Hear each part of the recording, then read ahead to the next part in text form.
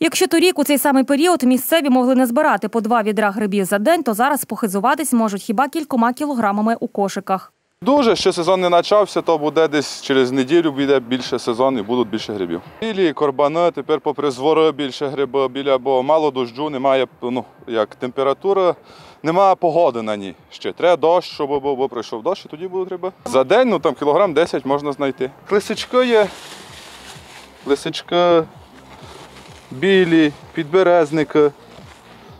Такі всякі гриби є. Ось білі.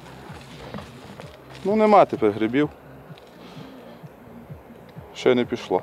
Пан Іван завзятий грибник. Грибні місця може знайти й закритими очима. Та зараз у лісі не густо. В аналогічний період минулого року е, тут вже був великий грибний сезон.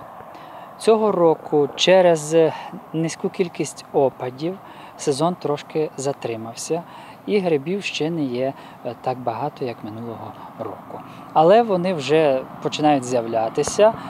Е, Затяті грибники вже приносять е, немало грибів. Найбільше тут цінують білий гриб. Інші місцеві жителі і за гриби не вважають. Той гриб, який найбільше цінується, ось як він заліз під корінь. О! Це білий гриб. Найбільш цінний гриб Карпат. Його погризла білка. Не рекомендується вживати ті гриби, які були пошкоджені дикими тваринами. На жаль, білих грибів нам більше не трапилось. Ну а мені після 20 хвилинних пошуків таки вдалося знайти грибочок. Ось він.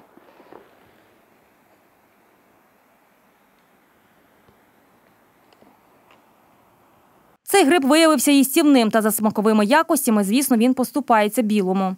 Це польський гриб. Це дуже добрий їстівний гриб. За смаковими якостями е, шапинка нагадує білий гриб. Проте він має все ж таки свій аромат, свій смак оригінальний. Під одним деревом інколи можна знайти відразу з пів відра дарів лісу, адже, як відомо, гриб це плодове тіло, яке виростає з міцелю і грибниці. Гриб, який ми знайшли, це вже плодове тіло. А в землі знаходиться власне грибниця, яке, яка е, має такі сітки, що снують під землею.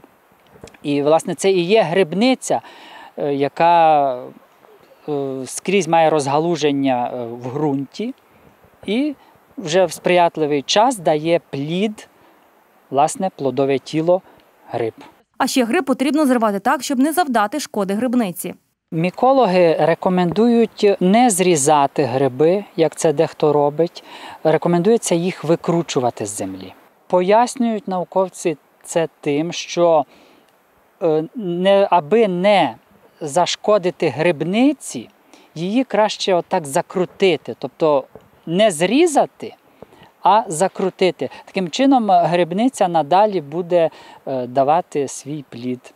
Тож щойно підуть дощі, грибів у лісі відразу побільше і, можливо, триватиме грибний сезон аж до заморозків.